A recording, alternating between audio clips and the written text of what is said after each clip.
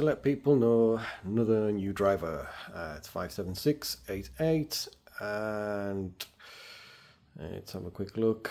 Um, it's to coincide with the new car getting released, the 550, uh, or the 50, 50 50, I should say. When you say that, it's actually not a particularly good name for a card when you think about it. It's 50 50. It might work, it might not.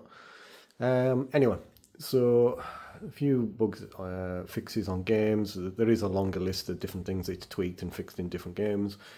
Um, this might give some people hope as well. Uh, the whole black screen thing, installing certain things, switching between certain things. But again, it, it it's not everything. Um, this is just a couple of things. Uh, I dare say there's going to be still some issues elsewhere. But as it's literally just come out, so I'm going to install it myself. So I don't even know uh, what kind of uh, problems may or may not hit. Hopefully, nothing.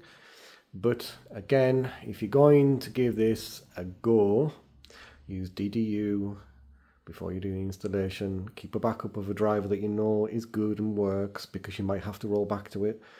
And as in my last video as well. It's worthwhile doing, and I'll probably be doing it more often now. Is delete your NVIDIA shader cache once you've done this as well. Um, just so that there's nothing left behind or nothing corrupted or these drivers are just being silly with certain games it's more so for people that have installed the driver, but it doesn't seem to be working as it should. And I don't mean by black screens or anything. I mean you get like a lot of stuttering or a lot of kind of kind of graphical issues, but mainly on the stuttering side. Um, then the NVIDIA um, shader cache should really be deleted. Uh, it, it, it takes no time at all to do. Like I say, if you have a look at the previous video to this one, it explains how you do it.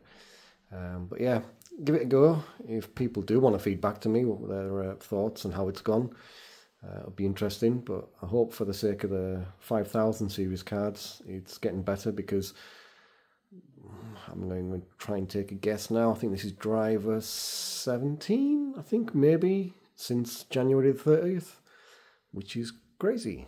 Anyway, fingers crossed. Bye.